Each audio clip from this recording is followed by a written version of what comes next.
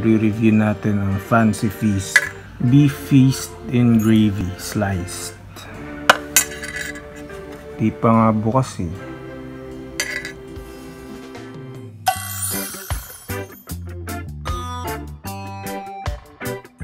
Fifty-one pesos sa high top sa Anonas. Are you ready to eat? Okay, buksan na natin.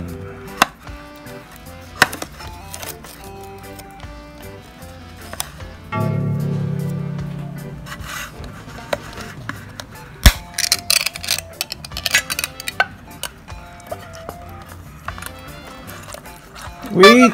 Wait! Ay, put. Mm. Hindi, lantakan mo yan.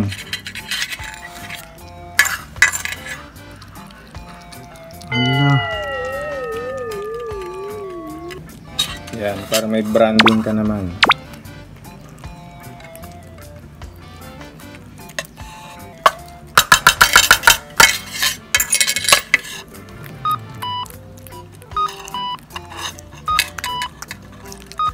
Tanggalin natin yung tag mo para hindi sagabal.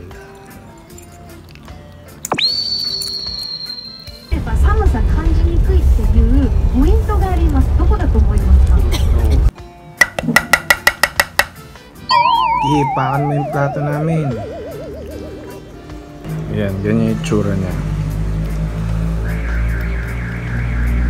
Amoy ano siya? Amoy ewan?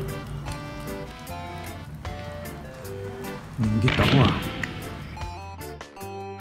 Mm, more.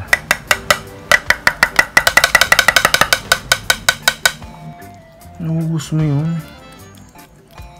Alam ko na no, may niya, may liver spread.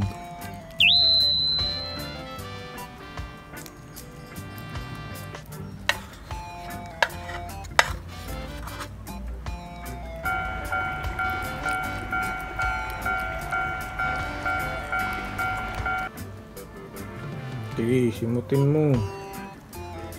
Anong review mo? Anong score out of 10? Diyan nagtatapos ang aming fancy feast beef feast in gravy flavor.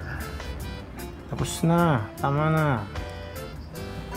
Tama na, tama na, tama na.